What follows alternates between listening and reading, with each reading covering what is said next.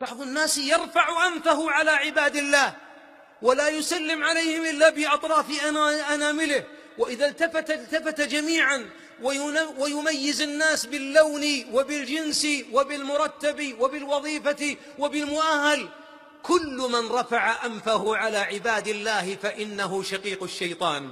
لأن الشيطان أول من تكبر. لما قيل له اسجد قال أأسجد لمن خلقت طينا.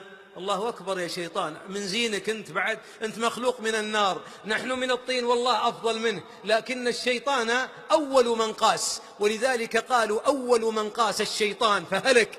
لذلك إذا رأيت رجل يترفع وبعض الناس حتى لو مستقيم تلقاه ما يسلم إلا على من يعرف ما يسلم على العمال ما يسلم إلا على من يراهم من حظوة الناس ومن أهله. لماذا يا أخي؟ أتعلم أنك خرجت من مخرج البول مرتين مرة من أبيك شهوة ثم من أمك كرها لماذا أنت ترفع الأنف؟ حبيبك خير الورى. كان يصبر نفسه مع الذين اتقوا ربهم.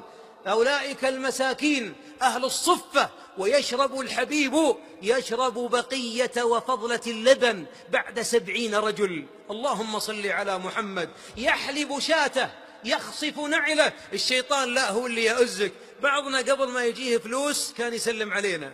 ولما رزق مال الله يحسن عزاه في نفسه هرب. وكان بعضنا قبل ما ياخذ الدكتوراه يسلم علينا. فلما أخذها ولا دبره. لماذا يا أخي من تواضع للخلق رفعه الخالق؟ ومن تعالى على خلقه وضعه. ولذا قال الحبيب يحشر المتكبرون يوم القيامة كالذر. كالذر يعني كالنمل الصغير يأطأهم الناس في المحشر من حيث لا, يص... لا, لا يعلمون مما كانوا يرفعون أنوفهم على عباد الله.